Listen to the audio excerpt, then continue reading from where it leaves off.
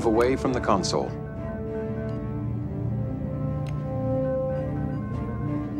As I told you, I am conducting repairs. You're attempting to deceive me. Why?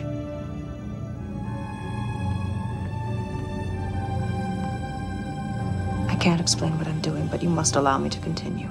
Your actions could result in an energy discharge which would be harmful to the crew. I realize that.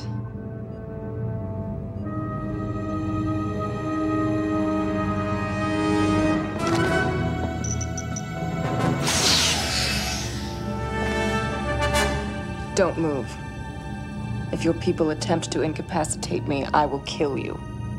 I believe you. What do you intend to do now? You will come with me to speak to the captain. I am certain she will have questions for you.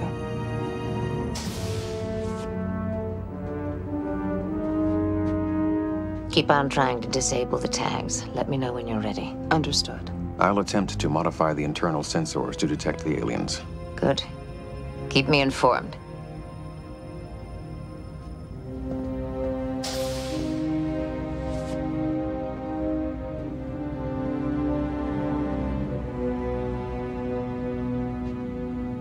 Who are you? And what the hell are you doing to my crew? My team has been observing you and conducting tests. Tests? I'd call them mutilations. I can understand why you're angry. I don't like causing people to suffer, but sometimes it's a necessary part of my work. What kind of work is that? Medical research. We're scientists. Like you. From where I stand, you're a hostile invasion force. I want to know how long you've been here and exactly what you've been doing to us. I can't answer those questions. It's a breach of protocol for me to be speaking to you at all. Oh, how convenient. That way you never have to face your victims.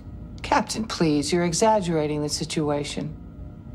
Our techniques are as benign as we can make them. What I've been through for the last few days certainly hasn't felt benign.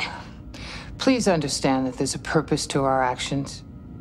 The data we gather from you may help us cure physical and psychological disorders that afflict millions.